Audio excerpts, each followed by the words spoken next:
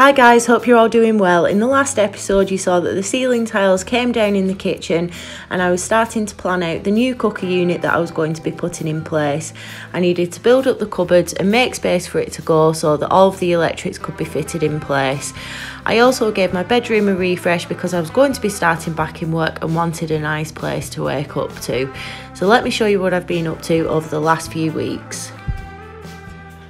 The electrics are all sorted now in the kitchen, so that is everything built up with the worktop and the cooker on. My new oven arrived this morning, so I need to get that shelf fitted today and get that put in. So I was thinking that I could get away with just painting this wall, but after going around and taking out all the wall plugs and stuff, the wall started crumbling, so I'm going to go back to the original plan of putting lining paper up and painting it so I'm going to be doing a tiled splashback on the back of here. So I don't want paper all the way over the wall because I don't think that the tiles will stick to the wallpaper or at least they're more likely to come off. So I'm just going to mark out roughly whereabouts the splashback's going to be and sort of like paper around that so that the tiles can stick to the wall. So I've got the cupboard doors on. I was I'm trying to decide what I'm going to do about the handles because obviously the other cupboards are handleless so I've just got like white plain cheap doors from B&Q so I've got a couple of different handles that I could use but what I'm thinking to try and make it all tie in a little bit better is pick up some handleless handles so something that kind of fits over the top of the door that I can then just pull out so that it's hidden and you can't really see it. Kind of like the handles that come on the IKEA Pax wardrobes that have got like the little gripper on. So I'm going to keep my eye out for something that I can use instead of putting handles on so that it doesn't stand out too much as being different. Um, so the worktop from Ikea is a different thickness but I've adjusted the height so that it's the same height as these. So I think this was like 3.8 centimetres and that was 2.8 I think. Um, but once it's all covered it will match absolutely fine. So because this is my last week off work, um, yesterday I obviously got all of the bonding done on the walls from where sockets were and things. And then I also like the there were tiles here so I'd pulled all of those off and then with some bonding just filled that in. It's messy but the, the washing machine's going to cover that anyway but I just wanted to get it kind of tidier so that can be painted over and it's not like exposed brick or the old tiles going to be seen. So that's going to be fine how it is so because it's my last week off work, I've made a plan of what I'm going to be doing. So it's Monday yesterday, so I got all the bonding done. So I've already sanded the walls today. I'm going to do the lining paper, fit the oven and paint the woodwork. But I've got a load of stuff in my car that I need to take to the tip. I've got things to pick up from Screwfix and I need to also go and pick up some white satin for the woodwork so I'll do the woodwork tonight and then the plan is tomorrow to spray the worktop joint. I'm not going to buy a new one. I'm going to use the old one which is a black one. I'm going to spray paint it white um, paint the walls and I'm going to go and pick up the flooring from B&Q and take a look at the tiles as well. And then on Thursday I'm going to get the flooring down. So I'd actually had um, the plasterer come round to price up for the living room over the weekend and I've asked him to give me a price for sorting this out as well because I don't think I'm going to get time to do it. So in an ideal world the ceiling would have been plastered first before obviously doing painting and the flooring but because I'm short on time I'm just going to do it and I'll have to clean up any mess that he makes afterwards. So I did say that I wanted this done as a priority over the living room so then I've at least got another room that's finished off. So time to crack on with the lining paper.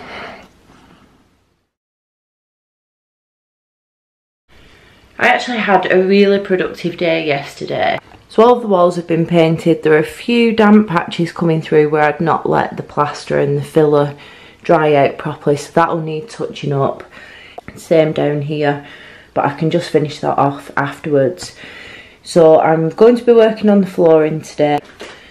because Before I do this radiator, I need to be able to get the washing machine in place. So I'll do the flooring up to here and then I can get the washing machine in and then get that radiator sorted. I put a new radiator in the bathroom yesterday um, but I'm not happy with the tightness of one of the thermostat tails so I need to take that off and get that redone before I refill the central heating system and I might actually replace the radiator in the hallway as well before I refill the system. I've picked up a piece of skirting board to put down here so I'm going to get that put on first then do the flooring um, and then there's just another little bit here that I'll put skirting on as well I think. I brought the saw into the back room just so that I'm not running in and out because the kittens will probably end up escaping. I've already trapped Jasper's paw in the door this morning so I'm going to get them out of the way and just do my sawing in here. The floor is looking good. It's so much brighter in here now. It has made the absolute world of difference. So I've only done up to here so I can finish off doing that radiator tomorrow once I've got the washing machine in. So I just need to do the edging along there before I put the washer in. So I'm really, really pleased with how this is looking because I've got like shelf up as well so it's looking a lot more homely. And I think tonight after I've eaten and watched Love Island I'm going to tile on here. So I'm not going to show you anything else in here now because I'm going to save it for the kitchen makeover video. So I'll get back to you in a few days once I've finished off doing what I can do in here and we'll move on to something else.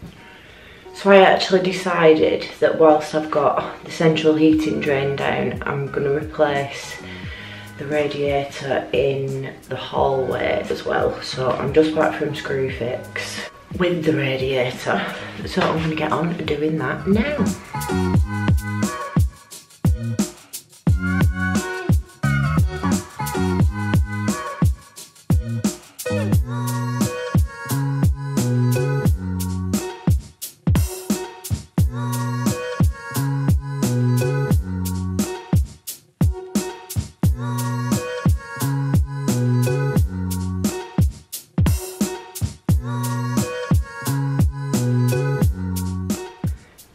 Having a major nightmare with these walls crumbling so I really hope that these brackets are going to stay up. I've added in a couple of extra ones than what was supplied so hopefully once they're screwed in it will hold it.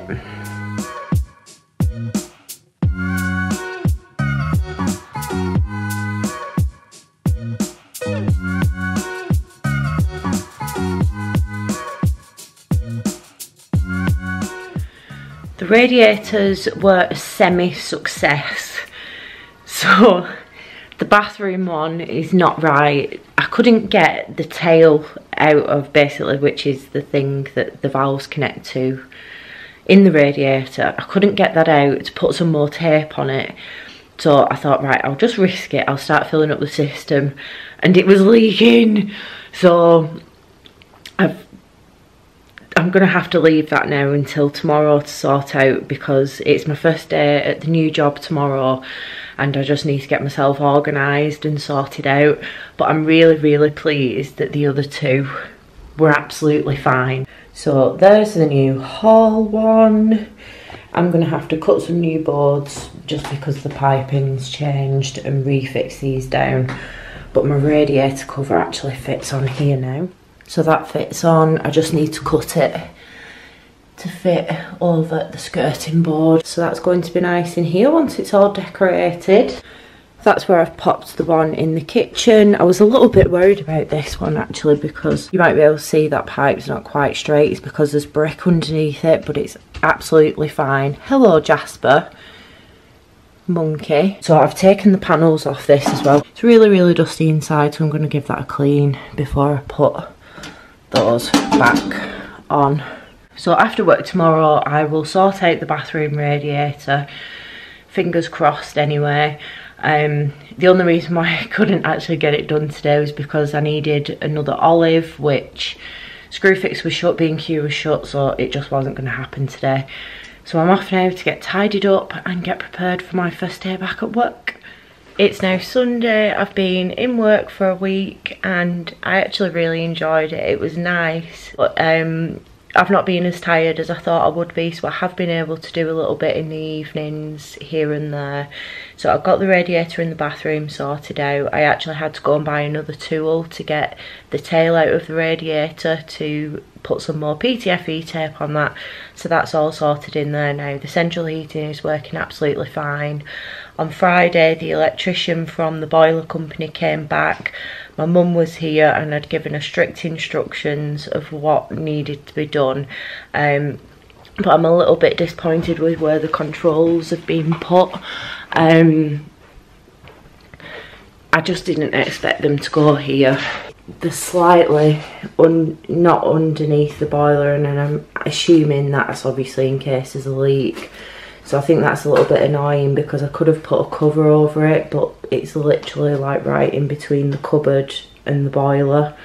So, and he also had to put on a surface mount socket because he said that there was a piece of wood behind it so he couldn't get it sunk into the wall. So I'm a little bit disappointed with that. I also had to do some fans, so fans been put in the pantry because I said I didn't want anything else drilling in the kitchen. That's up there now which looks a little bit messy. I did expect that there would be trunking but I'll just paint it like I did with the other side but I don't know whether to maybe just put a little bit of trunking myself on that wiring. It's a little bit messy in the bathroom as well, but once that changes into a bedroom, that's going to get taken out anyway, so I'm not too fussed about that one.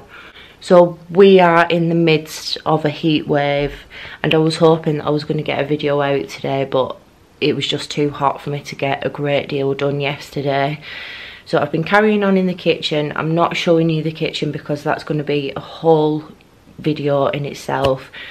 I've got the plasterer booked to come and do the kitchen ceiling next weekend so I'm really really looking forward to that. So that following week hopefully midweek I will be able to get the ceiling painted in there and that's going to be it pretty much finished off. Probably going to do the tiling in there midweek after work as well.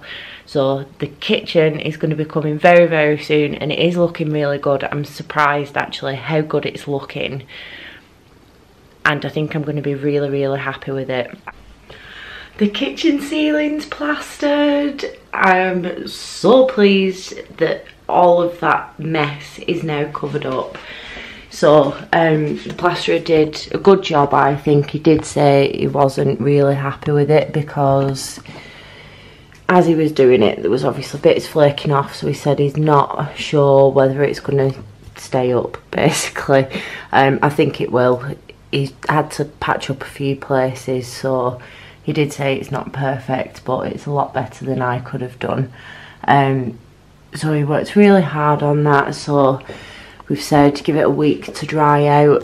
I'd actually last night moved over the ceiling light because it wasn't in the centre of the room so I just drilled through moved the cable over and just repositioned the light which looks pretty central now I would say. Really looking forward to getting round to getting in here painted because it's going to look pretty good I think um, for not a brand new kitchen I'm, I think I'm going to be happy with how it turned out though we did have a bit of a blip this week in here. I came home from work one day and there was a puddle of water on the floor and I think what had happened was that Alicia had had a shower and I've currently got a hair catcher in the shower and it takes a lot longer for the water to drain out so I don't know whether as she was getting out she'd splashed the water or it was overflowing out of the bottom. I have no idea, but there was a puddle of water on the kitchen floor, which had probably been there for maybe an hour or two before I got back.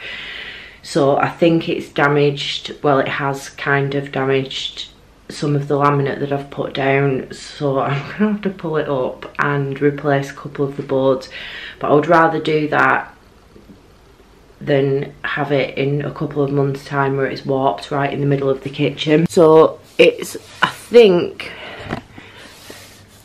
here where I can feel it anyway, where it seems to have lifted a little bit higher than the rest of it. So I think to be on the safe side, I'm going to replace this one, this one, this one and this one. So as it is in the middle of the floor, which is just typical, I am going to have to pull up what I've done. But luckily I hadn't gone around doing like the edging or anything, so it's easy enough to pull up. I don't have to mess about measuring again, I can just cut the new pieces to the same size as the old ones. And as long as I lay them out in the position that they were, it should be pretty straightforward to find out where it was that they went. So, not really what I wanted to be doing, but never mind. Whilst the plasterer was here, I've actually got quite a lot of sorting out done, which I haven't filmed because I didn't actually expect to be so productive today. So I've done lots of sorting out outside, but I was also clearing out in the living room and I've literally got a car full of stuff to go to the tip. So this is how the living room's looking at the moment. I've actually got the wood burner booked in for the first week in August, so I'm really, really looking forward to that. The plasterer said he's going to come and do the whole room after the wood burner's been installed. So I'm going to take off this extra layer of plasterboard that's up and he's going to skim on top of the old stuff. There's still some bonding that I'm going to do to patch up where the sockets were. And to be honest, I'm still tossing up the idea of putting the TV above the fire. You're all probably going to shout at me for that, but my plan was that in the months that the fire isn't getting used, the TV can be on the wall, and then in the winter, I can take the TV off the wall, put it somewhere else. I think it's just how I'd prefer to do it. I haven't made my final decision on it yet, but I think that's what I would like to do. So I'm trying to think what else has been going on. You might remember that there was a big UPVC window that was in the lean-to outhouse storage shed I got rid of that today, I'd sold it. I got £100 for that, so that can go towards the plastering, which is good. And I've got so much more space in there now, so one thing that I've been doing today is getting organised, so I'll just show you what I've done. So this is where the huge window was, which was taking up loads of space and then I had like these chairs here so I had no room in here whatsoever so these are my dining table chairs these are in here because I've got the table in the other outhouse.